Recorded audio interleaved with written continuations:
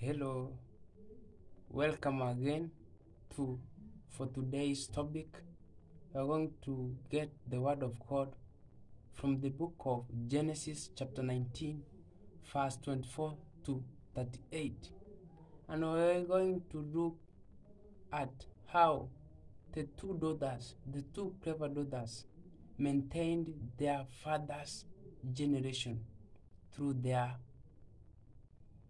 through their wisdom and understanding and the knowledge they have. So it starts from verse 24. Then the Lord rained on Sodom and Gomorrah brimstone and fire from the Lord out of heaven.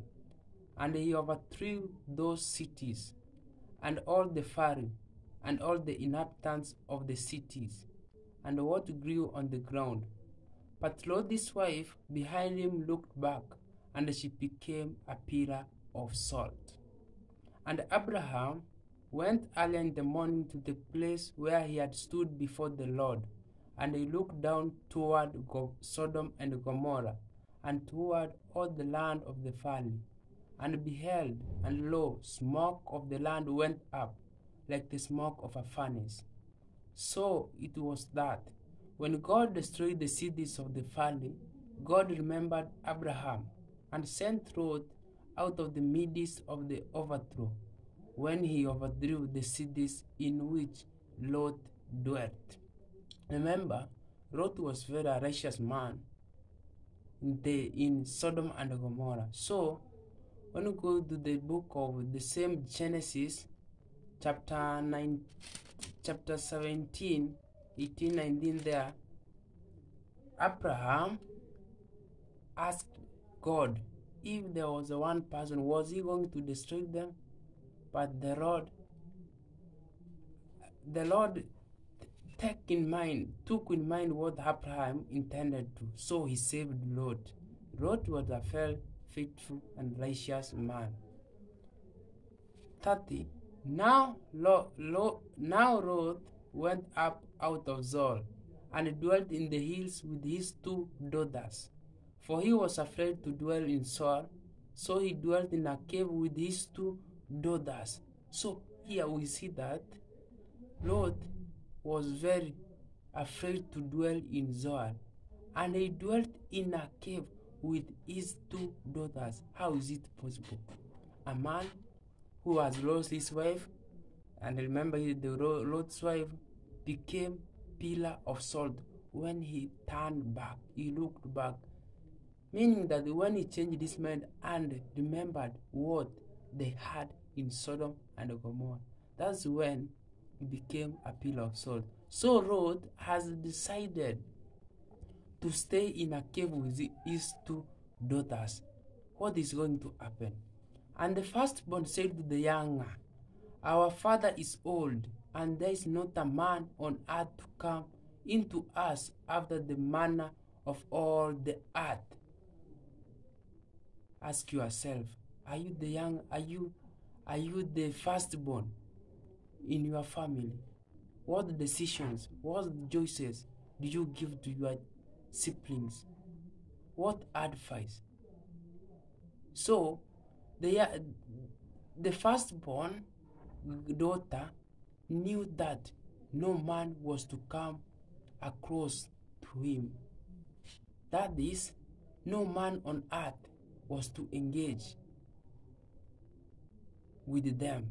So he came up with an idea, telling his, the, his younger sister that, Come, let us make our father drink wine, and we will lie him, that we may preserve us offspring through our father.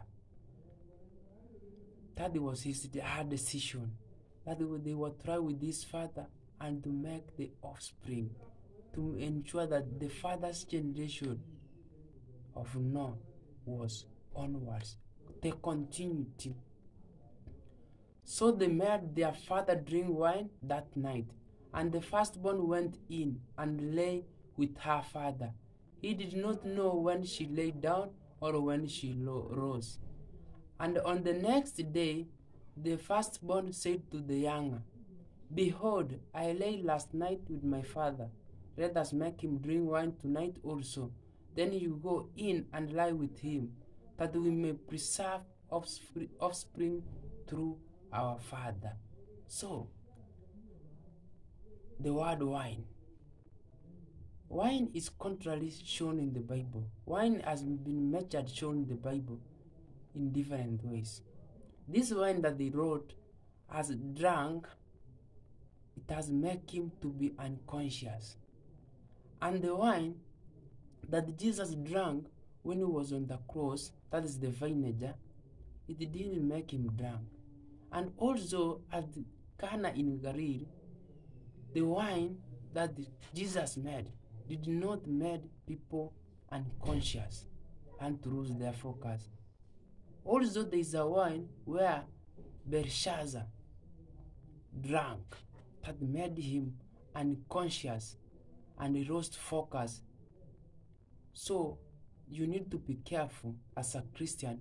What kind of wine do you take? When we go to the book of Second Timothy 5 3, Second Timothy, where it says that, sorry, I cannot remember the first correctly, but it's in the book of Second Timothy, where it says that erythro wine is very important. So, First Timothy chapter 5, verse 23. No longer drink only water, but use a little wine for the sake of your stomach and your frequent ailments. People lose focus on this. This verse, they misquote it. But remember, it is Paul who told people about how to take one. He did not give the, and he didn't, he didn't give them a preference. But when Paul was preaching, he went to preach with people. He went to preach on people who didn't know God, who were taking wine as their mean.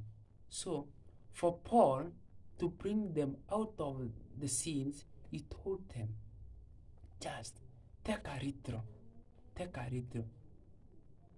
Because even when doctors advise people not to take cigarette because it's bad to their health, they reduce the number. So that is the criteria Paul used. So, without losing our content of the fact, is that the wine, the wine, the wine that Jesus took,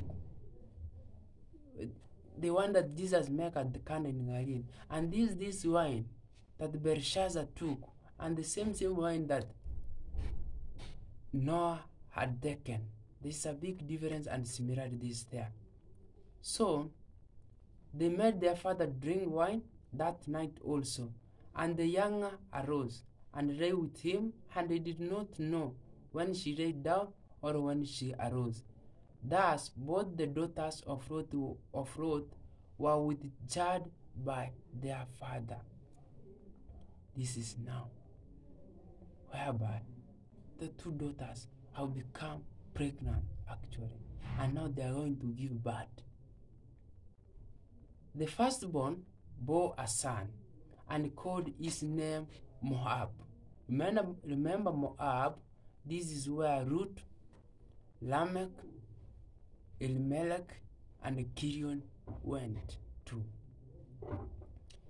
He is the father of the Moabites to this day. The younger also bore a son and called his name Ben-Ammi, his father of the Ammonites to this day. The younger also bore a son and called his name Ben-Ammi. He is the father of the Ammonites to this day. How was it funny that when they lay with his father, they didn't get a daughter? It is very funny. Was it God's plan so that the Moab, the Moabites and the Ammonites should exist? So, it's wonderful to, to hear this story. We don't encourage this behavior, but it is a good example from Lot's children, Lot's daughters, to show that how, which way a generation can can be kept. Remember, Sodom and Gomorrah were destroyed, and there was no men who were to marry, who were to engage with the daughters of Lot. So they took a step and they went in with their father. The main question is this Was it God's plan for the two daughters of Lot to engage with this father in sexuality?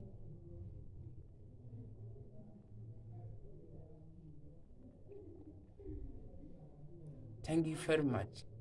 Subscribe to my YouTube channel. My YouTube account name is Obadia Ogeto. Watch there and learn more. This question shall be answered the next session. Bye.